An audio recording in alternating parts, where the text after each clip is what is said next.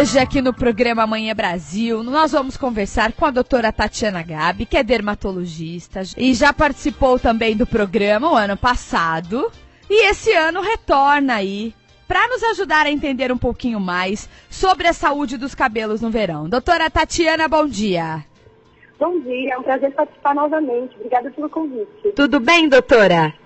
Tudo jóia. Olha, Tudo bem com vocês? olha, estamos melhor agora porque vamos aprender um pouquinho mais sobre os cuidados com, os- com o cabelo no verão. Isso é muito importante. Com certeza. Doutora, qual que é o primeiro passo para nós orientarmos aqui os nossos ouvintes a cuidar de uma maneira saudável dos cabelos no verão? Então, o maior problema do cabelo no verão, no verão né, cabelos no verão, é a exposição ao sol, água de piscina, água do mar, tudo isso prejudica os fios. Outra coisa que atrapalha bastante é o vento, né, que vem carregando todos esses produtos do sal do mar, que também resseca bastante os fios. Então, as pessoas que querem cuidar dos cabelos do ano, elas devem saber algumas coisas. Por exemplo, loiras, né? O pessoal que descolora o cabelo tem que tomar muito cuidado com piscina, porque pode esverdear. E Entendi. o pessoal que tem coloração tem alguma química, fazer uma hidratação todos os dias na praia, enquanto estiver com essa exposição solar, para evitar o ressecamento e o que o cabelo estrague, né? É verdade. Olha, as perguntas já estão chegando. Eu tinha as minhas, mas eu vou dar aqui a prioridade para os nossos ouvintes. Eu- a Maria Zilda aqui de Campinas, doutora, ela pergunta o seguinte: se nós devemos aplicar o condicionador antes de entrar no mar e na piscina, e ela quer saber se isso ajuda.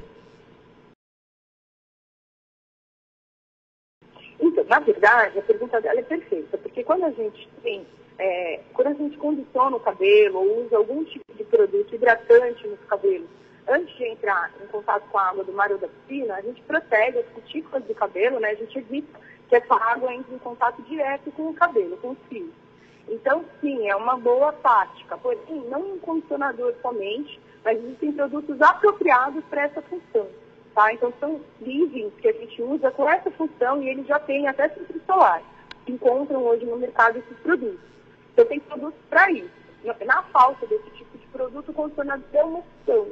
Mas o condicionador ele tem a desvantagem de poluir o meio, entendeu? E esses outros produtos eles são indicados para isso. Entendi. Então, fica aí essa dica. Tá. E o creme sem enxágue? Ela pe- pergunta se ela pode. É saudável usar creme sem enxágue nos cabelos. Então, o creme sem enxágue ele tem indicações precisas, ele deve ser usado sempre nas pontas dos cabelos, né? Porque ele pode contribuir com a oleosidade do couro cabeludo. Então, ele não deve ser usado indiscriminadamente. Mas sim, ele tem uma função, é, nessa época do ano é legal porque protege bem os fios e tem produtos também com filtro solar e aminoácidos e outros hidratantes que são bons para reconstituir o fio e evitar essa, é, esse impacto né, do sol, do vento e da água do mar e da piscina. Então é interessante sim. É, se a pessoa não tiver como usar um creme, vamos supor, né? Ela já foi para a praia, ela já está ali naquela situação, ela não levou um creme. O que, que ela faz É. para proteger os cabelos antes de entrar no mar ou na piscina? Ela molha com água corrente. Isso já ajuda bastante, porque a bu- vai é, inundar o fio com água normal, entendeu? E isso faz uma proteção para que a água é, salina ou a água tratada da piscina não entre em contato direto com o fio. Então isso ajuda bastante. Entendi. Com certeza você deve ter uma paciente que tem aquele apego, aquele cuidado com os cabelos que mesmo que vá à praia ou até à piscina, a pessoa não molha o cabelo de jeito nenhum, com medo, ai meu Deus, vai ressecar, vai fazer mal. Isso muitas vezes é um cuidado, mas que assim, não é só evitar de entrar no mar ou na piscina que o cabelo vai estar bom, precisa de um cuidado diário. Ah, com certeza. É, na praia, na piscina, se quiser ser bem cuidadoso com o cabelo, deve proteger dos raios solares. Então, usar chapéus, bonés, lentes, tudo isso ajuda bastante, porque o sol ele também impacta na saúde dos fios. Inclusive, o processo de envelhecimento do cabelo, que está sendo estudado atualmente, né, e faz confusão com aquela doença é, da calvície, né, Uhum. masculina tanto feminina, tem uma influência grande do sol. Então, o envelhecimento do cabelo ele começa pelo excesso de exposição solar. Olha. É, e isso pode afinar os fios com o passar dos anos. Então, o cuidado de proteger os cabelos do sol, ele é fundamental. E quem tem menos cabelo tem que tomar mais cuidado ainda para evitar que o couro cabeludo sofra o impacto da exposição solar. O cabelo está aí para proteger o couro, né? É verdade. Então, as pessoas que têm menos cabelo, elas têm que tomar um cuidado redobrado. Doutora, e muitas pessoas acabam fazendo alguns tipos de hidratação ou tratamento com algo mais natural, né? E passa argila, leite, coisas que a gente vê na internet, a gente fala: "Nossa, será que isso dá certo? Será que isso é benéfico para a saúde dos cabelos?" O que falar para esse ouvinte que gosta de fazer isso? Então, na verdade, assim, a indústria ela se especializou muito. O cabelo é um negócio que gira milhões, né? Sim. Milhões. Então, assim, existe hoje muito estudo em relação a isso. E os, os ingredientes naturais, eles têm, é, têm alguma função, sim, tem alguns que são ótimos, mas a mais, é, o que tem na indústria hoje em dia para tratar o cabelo não deve ser evitado, entendeu? Eu acho que, que tem muitos recursos, sim, e conversar com um, um profissional que está por dentro dessas novas tecnologias vale muito a pena. E às vezes a gente perde tempo fazendo coisas em casa quando uh, existem produtos muito específicos para o tipo de problema que a gente tem. É. Então eu não recomendo muito não, tá? Melhor Mas evitar. existem coisas que são, assim, se a gente puder desmistificar, tem coisas que funcionam sim. Por exemplo, o óleo de coco é uma coisa interessante, ele realmente faz a umectação do couro cabeludo, ele melhora bastante a saúde do couro, e o couro é importante, né, para manter a saúde do fio. Uhum. Outra coisa que compensa fazer é usar aquela maisena no cabelo, que ela ajuda a selar as cutículas. É, como funcionaria é, no final de uma hidratação, a gente sempre a gente sempre tem que selar as cutículas. E uma forma de selar as cutículas é usar essa maisena. Ela vai deixar com que os fios guardem o produto que você colocou, porque ele vai fechar o fio para você não perder aquilo que você usou, né? Então, assim, na verdade existem sim coisas naturais que são interessantes, mas a gente também não pode acreditar em tudo que a gente lê na internet. Ah, né? não, senão vai virar uma coisa loucura. boa no salão.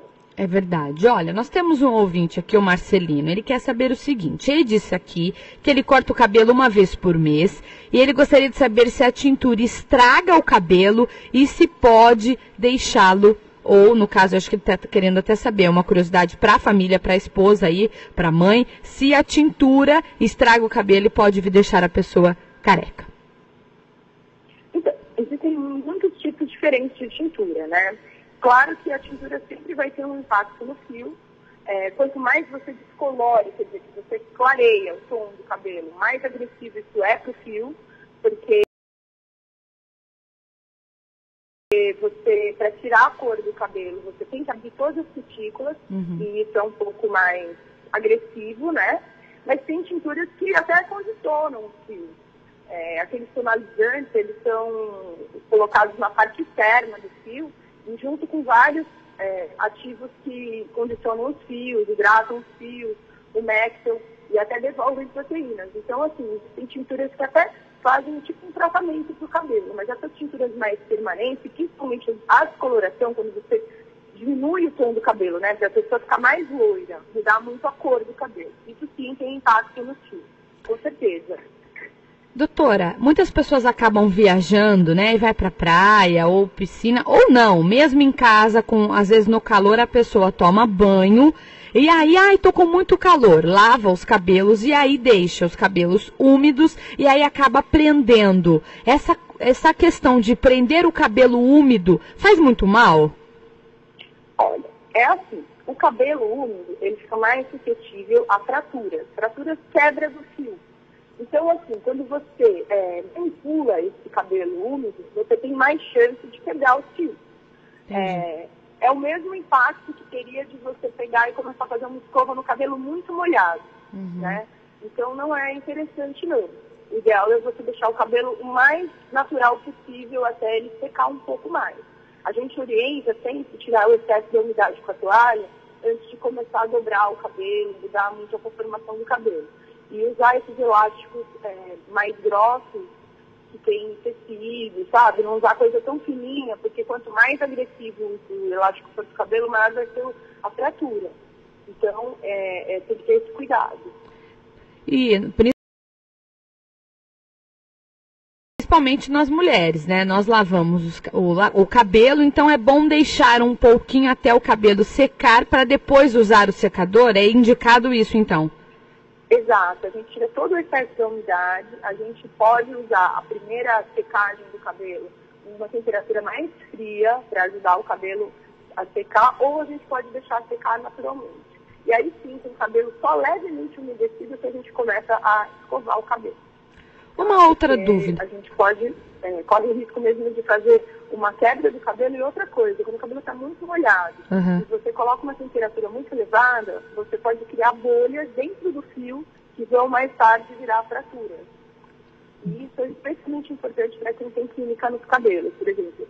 As pessoas que fizeram descoloração estão muito loiras e ainda por cima usaram alguma coisa para deixar o cabelo mais alisado, mais uhum, liso. Uhum. Essas pessoas estão em muito risco de quebra, então elas não podem ter esse tipo de hábito, porque isso vai ajudar elas a, a perder os fios mesmo, por quebra. Olha que interessante. Uma outra, uma outra dúvida. Às vezes as pessoas falam assim: ah, mas eu tenho que me alimentar bem para que o meu cabelo tenha saúde, para que eu fique com os cabelos mais saudáveis e bonitos. Existe uma relação. Sem dúvida. Eu acabei de escrever um artigo sobre isso. Olha que bom! Na verdade, é, assim, o que a gente come supre o nosso organismo com os nutrientes que a gente precisa para desempenhar todas as funções. E o cabelo ele está ligado às células que se dividem constantemente. Então, são, é, são células que precisam de muita energia e muitos nutrientes.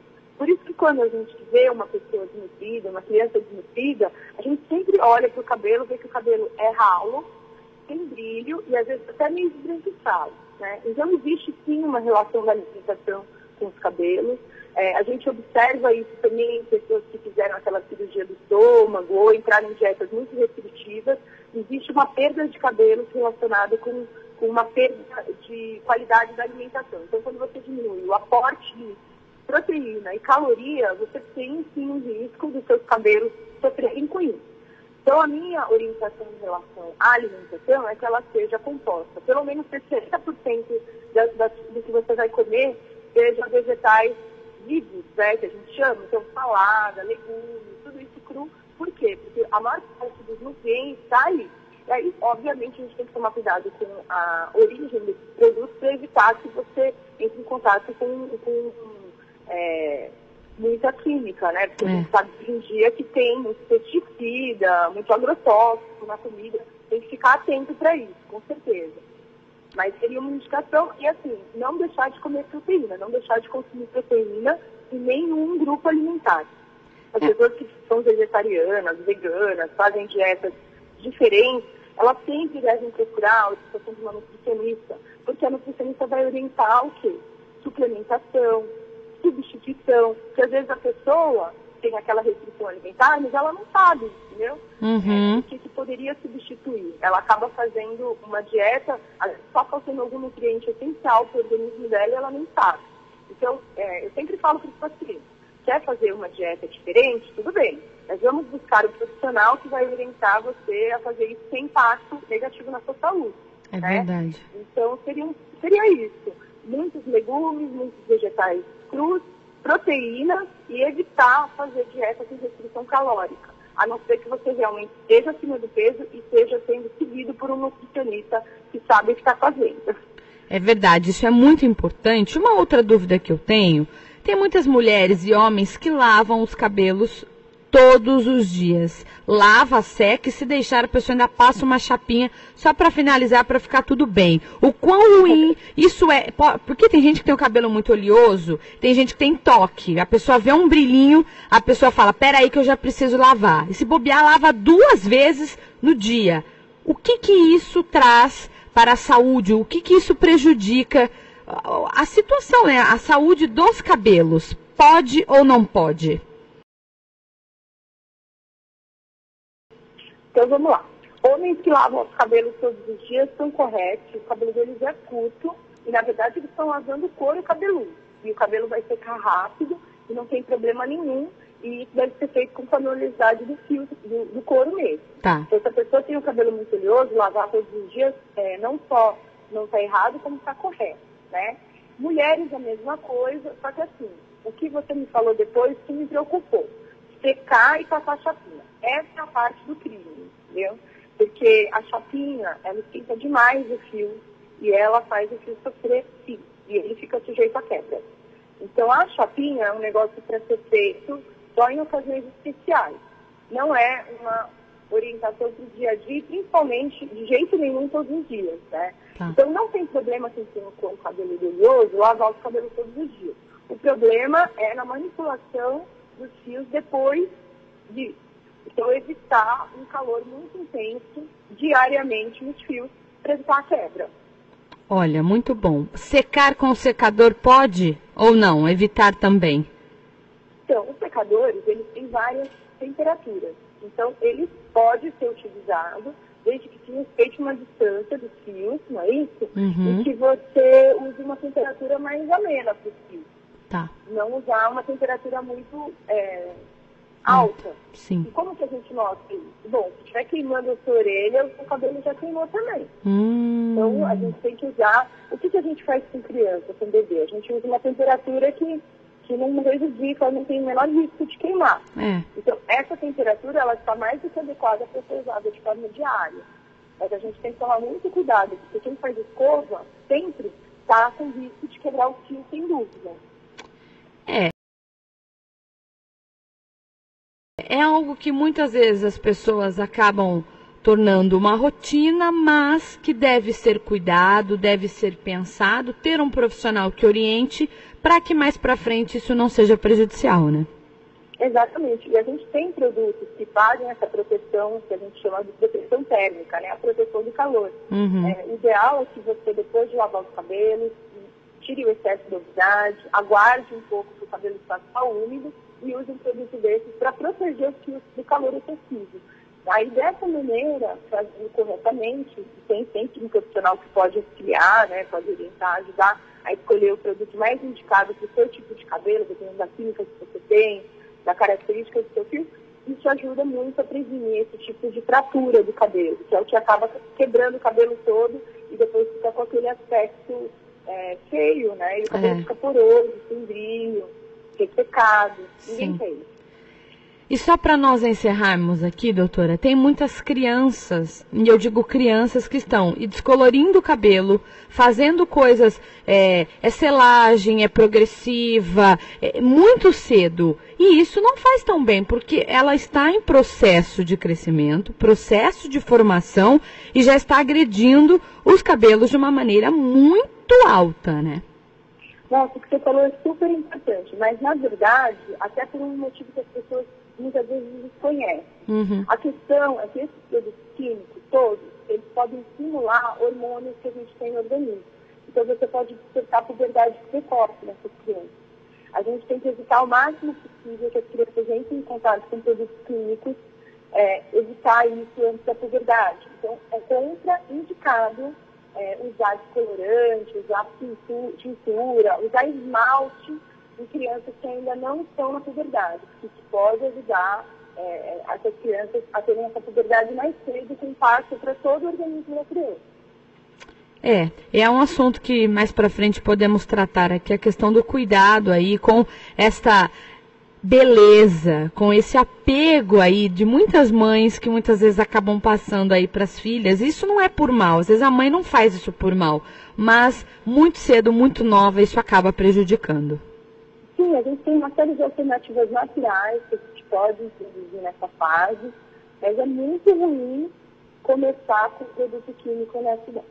Não é indicado. A gente já, já tem alguns produtos químicos que a gente não consegue fugir, que são o filtro solar e repelentes, né, nessa situação que a gente está vivenciando hoje. Sim. Então, deixar esses produtos cosméticos para depois da puberdade. Tá. Porque a gente ainda tem que expor as crianças a coisas que a gente não gostaria, mas que são importantes pelo, né, pelo risco benefício. Uhum. Então, a gente tem que deixar essa parte da perfumaria para mais para frente mesmo, sem dúvida. Ótimo. Olha, eu quero agradecer mais uma vez a sua participação aqui no Manhã Brasil. Muito obrigado. Os nossos ouvintes já mandaram mensagens aqui e estão agradecendo a sua participação. Obrigada, doutora. Ah, eu agradeço muito. Gosto muito de participar. Podem continuar me convidando. Sempre. Um todo mundo aí. Um beijo. Beijo. Tchau, tchau. É isso. Conversamos com a doutora Tatiana Gabi, que é dermatologista, e ela disse: homens Pode, viu, Rodrigo Dré? Pode lavar o cabelo todos os dias. Jéssica, pode lavar? Pode. Usa secador? Evita. Usa chapinha? Evita. Ai, Camila, nunca mais. Calma, pode. Uma vez na semana, duas vezes. Vai numa festa, vai num evento, aí sim faz uma escova. Algo mais detalhado. Se não, tente aí deixar o seu cabelo natural. Ai, mas eu não gosto de jeito nenhum. Então, procure um profissional, converse com ele, que ele vai te orientar da melhor maneira possível.